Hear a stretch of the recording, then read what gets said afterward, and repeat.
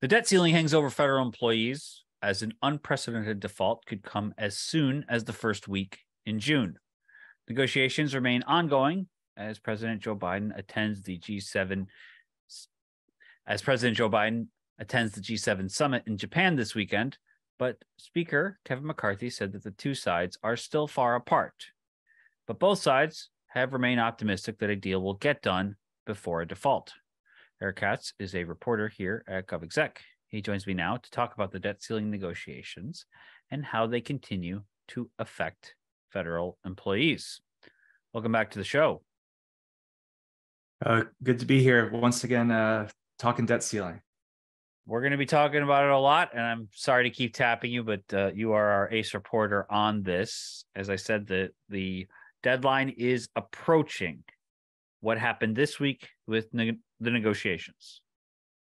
So this week, uh, the president convened another meeting at the White House with uh, congressional leaders in the House and Senate, Democrats and Republicans, and you know that uh, th- that was meeting with the. This is the second meeting they've had in the last two weeks. There was initially going to be one on Friday, uh, last Friday, not not uh, today as as you're listening to this, but that got delayed. Uh, perhaps that was because um, some of the deputies that were negotiating made some progress, uh, and they wanted to let that breathe a little bit.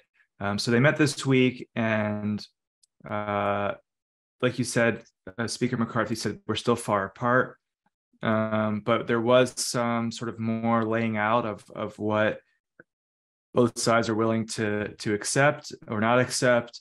Um, and uh, you know things have progressed in that sense and also uh, they sort of laid a more firm uh, path, uh, the groundwork uh, for uh, these discussions to continue as they are as they have throughout the week by by designating certain officials um, to to conduct those talks. Um, and we can get into to who that is, but that um, Speaker McCarthy said um, the fact that we have that um, is is it's creates a structure for the for the talks to go on, and uh, that in and of itself is a positive development. Um, you know, there's still some bickering over exactly what they're negotiating over. Um, you know, obviously Republicans are saying we don't want to raise the debt ceiling unless there's uh, cuts to federal spending attached to it, and the Democrats are saying, well, no, we're just having a, a a discussion over the budget and the debt ceiling issue is separate. Um, clearly, they are linked in some way, and uh, uh, that's sort of how the discussions are proceeding. You just alluded to it. The negotiating circle has shrunk quite a bit. Our listeners will know Shalanda Young, the OMB uh, chief. What's her role? What are the roles of the other people that are now more hands in the dirt here on these negotiations? Yeah, I, I think you know you sort of uh, you said it. The, their role is to get down into the nitty gritty and really uh, figure this thing out. Um, you know, each side has made sort of broad demands, and now it's time to to work through those and and see where there could be some bipartisanship. Um, uh, minority leader in the Senate, Mitch McConnell, is is out of the picture. Um, honestly, Chuck Schumer uh, in the Senate and and House Minority Leader uh, Hakeem Jeffries are are not directly involved. This is the White House and uh, the Speaker's Speaker McCarthy and his team. So, like you said, OMB Director Shalanda Young uh, and Counselor to the President Steve Ricchetti are, are leading that charge.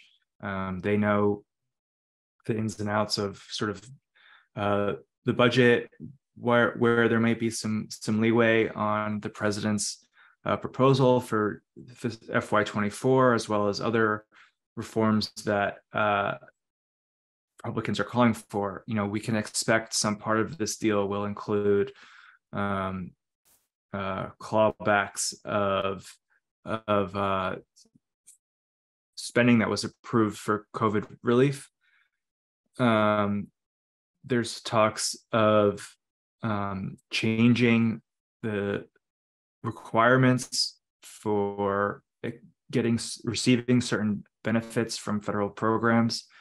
Um, you know, think about uh, w- what sort of work requirements people need in order res- to receive um, uh, federal federal assistance programs. Um, so that's all part of it, and uh, you know they're representing the White House there. Shalanda Young, originally uh, from Louisiana.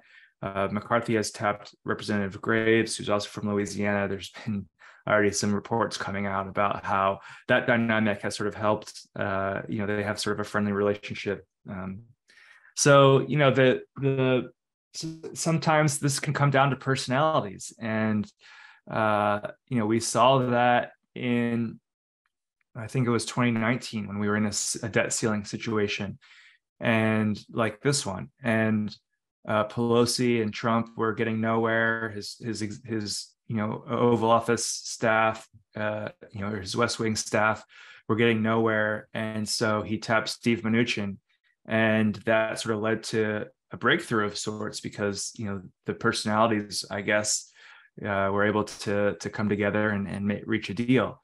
Um, that's sort of what they're hoping for here. Shalanda Young and and, and uh, working with uh, McCarthy's staff and some of his deputies who are, you know, House members, are hoping they can come together and, uh, you know, iron something out in in uh, in the very near future. Has the timeline changed? I mean, you say the very near future. Yellen has said J- uh, June first. I know we had Patrick Orlean, an economist, earlier in the week, and he intimated essentially that Yellen is just kind of giving that early date to really push the conversation a little bit more quickly. It's pretty much unknown, but we get an idea. What what is that idea? Yeah, it's uh it's the big, big question, uh, or one of the big, big questions, I guess, is uh uh, you know, can they reach a deal? And then how long do they have to do it? Um, so McCarthy has signaled we need a deal by the end of this week, basically within the next few hours of of when this uh, uh, podcast is is um, being delivered to your ears. Um, uh, so I don't, I don't know how realistic that is, but he's talking about sort of the timeline to get it through the House and then turn it over to the Senate and have you know they go through their process then get to the president's desk. Um, so you know that that's doesn't happen uh, overnight. It takes takes a few days um, potentially you know a week or two. Uh, if that's the real deadline you know like you said it could it's it's unknown um, you know i've seen some briefings from uh, the bipartisan policy center which is a think tank that tracks this stuff they sort of lay out exactly what federal expenditures go out on which days for example for many of our listeners uh, in the that first week of June, there's like six billion dollars of federal salary payments that go out. Um, that's sort of toward the end of the week. Uh, you know, the, there's social security payments that have to go out, Medicare. Um, these things, you know, are bringing us closer to that point when we no longer have enough cash that we can actually make those payments. So once that tips over the scale, that's when you uh, breach the debt limit. And you know if you can't pay make all your payments then you have a default. So that's what we're looking for. That's sort of uh, that's um, what the countdown is. And exactly when that's going to happen can change but uh, you know it, it's all based on how much revenue is coming in and versus how much is going out. And you know there's some reports and bipartisan policy, policy centers talked about this yellen talked about this. Uh, you know the revenues maybe weren't as much as we thought. And then there's like uh, payments related to uh, debt, uh, student debt cancellation, and all of that sort of impacts this. So it could end up being sort of in that early June timeframe. Uh, the the later the latest estimate that we have is early August, so it could stretch out that far. Um, but obviously, you can't wait to pass legislation hoping that uh, it, uh, that will happen, or I guess you can, but you are significantly increasing the risk of a default. Uh, so you have to be prepared to, to pass something on the early end uh, of that timeline. Yeah, it's really dancing with danger. I think if you're trying to push it out and out and out because, as you mentioned, we don't really know when it comes to the revenue and, and what that exactly uh, is because this is not entirely concrete by by any uh, stretch. Has there been any change in the way that agencies are preparing for this? Is there any clarity on how things uh, will affect feds? Like you said, government's got to make the, the federal government has to make decisions as to who to pay. If they can't pay everybody, are feds going to be the first on the chopping block and get some IOUs or furloughs, or do we know what's going to happen? No, we don't know for sure. Uh, what we suspect, and this is sort of based on what officials have said and what outside experts have said is, is feasible, is that um, the U.S. won't make any payments until it can make all of its payments in a given day. So rather than say, okay, we can only make 75% of our payments today, we'll choose you, you, and you, but not you. They'll just say no one's getting paid uh, until we uh, have enough cash reserves built back up. Um, so uh, that would, you know, leave everyone in a bad place who receives federal payments, states, uh, beneficiaries, grantees, uh, potentially federal employees. Um, you know, we haven't seen an exact uh, um, layout of what that would look like. We haven't um, seen any sort of formal announcement that agencies are preparing for for that eventuality. Um, I think you know it wouldn't it wouldn't necessarily be like a shutdown where feds are sent home. Uh, more likely would be that they're told to keep working and their paychecks will come later. There's been lawsuits over this and shutdowns passed, and you know the government may end up having to pay you know back paid overtime uh, for that sort of uh, thing um, uh, which which uh, you know would be dealt with later on um, you know there's no expectation that federal employees wouldn't be made whole. In fact they would be legally obligated to be made whole um, as far as i know. Um, but uh, you know it, it, could really disrupt uh, the way that um, uh, you know that that federal employees are, are paid, and I, I know that that's been discussed uh, on the on the podcast with some of uh, the experts that that you've had on. Um, so uh, yeah, I, you know, I I would I would definitely uh, not be feeling very comfortable about what would happen to me were I a federal employee and there's a, a default on the on uh, on our debt. Best prediction. Do you think this is going to get done? So let's let's think about uh, where we are right now. Um, as of Thursday afternoon, when this podcast is being recorded, there's starting to be the very beginning signs of, uh, and I don't want to say optimism. That's almost too powerful of a word, but starting to be some movement toward understanding that they're making some degree of progress. And I'm used couching this as much as I possibly can. Um, yeah, they're making a plan to make a plan, basically. Something like that. Yeah. You know, McCarthy talked about, you know, if there was a deal, we could vote on it next week. Um, so, you know, there, there's I I assume lots to iron out still, but maybe there's a little bit of a framework emerging where they're they're sort of saying, okay, this can be a part of it. You know, what's the details? Um, you know, but there's a lot to work out. How long are they going to? Uh, how much are they going to raise the debt ceiling by, or for how long will they suspend it? Uh, I believe the House passed bill only went to March.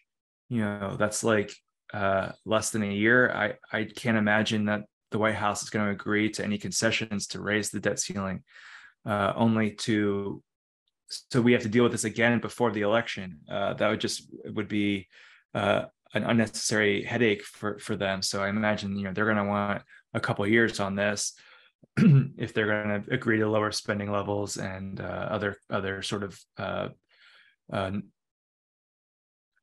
uh, considerations that that Republicans want. Um, so that has to be resolved. um, you know, what are how long if if there's a budget deal that places spending caps, is that just for FY24? Is that for FY24 and 25? You know, we've seen many of these two-year deals in the past.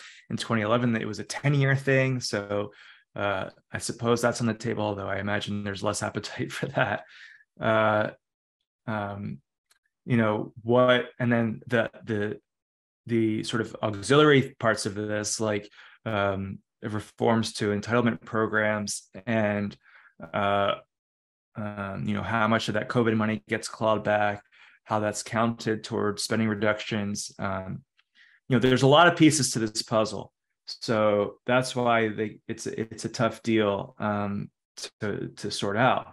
Uh, you know, it's funny that um, Kevin McCarthy said uh, something along the lines of, you know, once we actually sit down, this is pretty easy. Everyone knows what the deal is going to look like, so we can hash it out pretty quickly. It was a matter of of getting everyone to sit down, which is obviously um, sort of a negotiating tactic on his part. And he wants to say if there's a default, it's Democrats' fault, it's Biden's fault because they they refuse to negotiate for months. Um, you know, the flip side of that, of course, is House Republicans refuse to pass a clean debt ceiling for months, and that's why we're in this predicament in the first place. Um, so, you know, everyone is is sort of sticking to their talking points publicly, even though behind the scenes there things are happening. They're moving and shaking. Meetings are happening.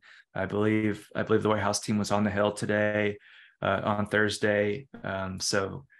Uh, I, I guess in, I haven't answered your question yet. Um, you know, it seems like maybe things are moving toward uh, uh, some sort of resolution here. So I guess if I had to bet, that's where I would be leaning. But um, you know, it's it's still difficult to see, you know, exactly how this shakes out. So uh, nothing would surprise me, um, including an extension to buy themselves time if they're running low on time and they think the deadline's coming. If they say let's just suspend suspend the the debt ceiling until July first um, you know, I think we we've seen that sort of thing in the past, uh, just to buy time on negotiations. Um, so that's in the cards. They haven't discussed that yet, so I'm not saying that's looking likely, but it's just something that they could do. Uh, but yeah, I mean, it's it's all it's all sort of in play at this point. It's not the same actors necessarily, so I don't want to say that it's a repeat, but I will simply say that this reminds me somewhat of budget negotiations and CRs and the shortest short sort of short term deals. So I would I would put my money where I a betting man, and I swore off gambling a few years ago. I would put my money on the scenario you just uh, put forward that this is a buy us some more time for this, and we're going to keep on this carousel at least for mm-hmm. a few more months because that's uh, if nothing else, uh, you know, a path to get more of what you want and and something of a of a pattern uh, of Congress on on budget related issues. Yeah, and and um, while we're on that point, um, if they do somehow miraculously pull a, a deal out of their hats, um, you know, that could actually lessen the headache uh, if if for the regular appropriations process because if they have a um, you know so many times in the past the the the delay was over what that top line spending level is going to be so if this debt ceiling deal includes an agreement on that top line level then they only have to write the bills which is obviously extremely difficult and time consuming and uh, not and, and, politically charged uh, thing to do, but it's uh, they're like a lot closer than normal.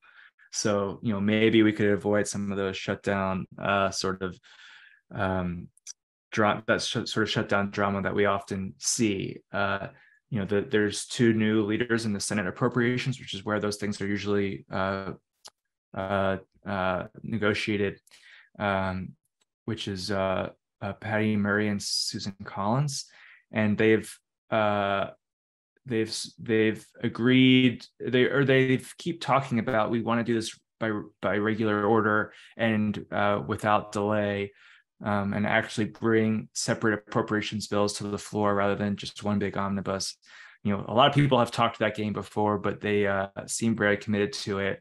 Um, and uh, if they have that top line number, it makes it a real, a more realistic process uh, uh, prospect. Here's hoping that something gets uh, done before the financial world spirals even further out of uh, control than it would be otherwise. I don't uh, claim to be a, a knower of finance, but this has me, uh, I would say, uncharacteristically worried about it. And uh, Eric, we will certainly have you on uh, before the deadline. So I apologize for making you work overtime on this stuff, but you have been a great uh, source of knowledge and analysis on this. And as such, thanks for being on the show with us. Well, thanks for having me. And hopefully, next time I'm on, we'll be discussing what a great deal they've come up with. Yes, the best deal, the best possible deal in the world.